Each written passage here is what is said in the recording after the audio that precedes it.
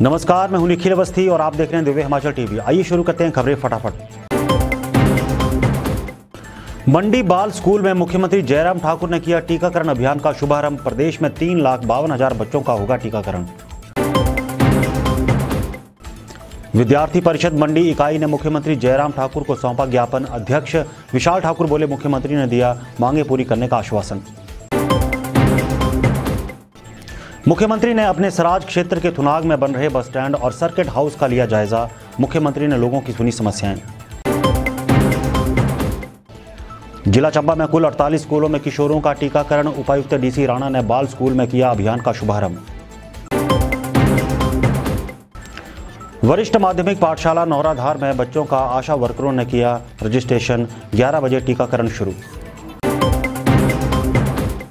हमीरपुर में भारतीय सेना की 24 पंजाब रेजिमेंट ने मनाया पचपनवा स्थापना दिवस। मुख्य अतिथि कर्नल पी एस जग्गी ने पूर्व सैनिकों को दी बधाई।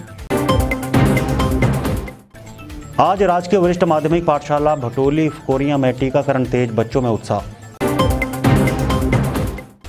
नगर पंचायत ज्वाली के अधीन कहरिया चौक पर निकासी नालियाँ, कूड़े कचरे से लबालब यहाँ बदबू में सांस लेना मुश्किल। सोमवार सुबह डीसी ऊना राघव शर्मा ने बाल स्कूल में टीकाकरण अभियान का किया शुभारंभ। 15 जनवरी तक उनतालीस हज़ार से ज़्यादा बच्चों को लगेगी वैक्सीन। हमीरपुर में पुलिस भर्ती का आगाज़, पहले दिन 1200 युवतियाँ दिखाएँगी दमखम। राजकीय वरिष्ठ माध्यमिक पाठशाला टिहरा और पौंटा साहिब स्कूल में टीकाकरण को लेकर किशोरों में भारी उत्साह। उपायुक्त सोलन कृतिका कुलहरी ने शिक्षा उपनिदेशक को दिए निर्देश, स्वास्थ्य विभाग को सौंपे बच्चों की सूची। रिकांगपी स्कूल में उपायुक्त आबिद हुसैन सादिक ने किया टीकाकरण मुहिम का आगाज़, सीएमओ डॉक्टर सोनम नेगी बोले तैयारियाँ पूरी। हमीरपुर की ग्राम पंचायत अगधार के चौकड़ में खूंखार सांड का आतंक, सुंदरनगर में आबारा कुत्ते मवेशियों को कर रहे चट। राजगढ़ में 15 से 18 साल के बच्चों को वैक्सीन लगाने का अभियान सोमवार को आरंभ हो गया। पहले दिन 15 विद्यालयों में जारी रहा अभियान। सुजानपुर में 41 सैंपल में उनतालीस सैंपल पूरी तरह सही पाए गए हैं। जिला खाद्य सुरक्षा विभाग की निरीक्षिका मधुबाला ने दी जानकारी।